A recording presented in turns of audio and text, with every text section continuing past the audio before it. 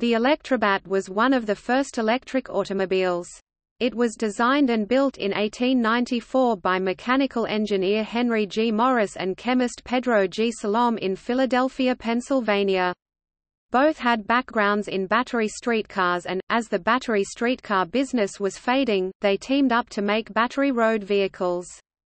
Their effort was patented on August 31, 1894.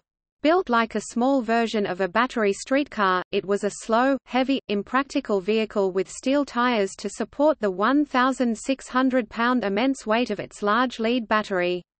It entered production in 1895.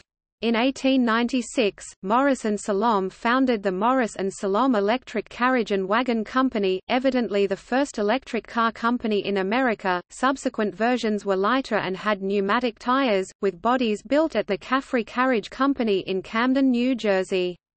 These cars steered by their rear wheels and had two 1.5 horsepower (1.1 kilowatts) motors that propelled them 25 miles (40 kilometers) per charge at 20 miles per hour (32 kilometers per hour).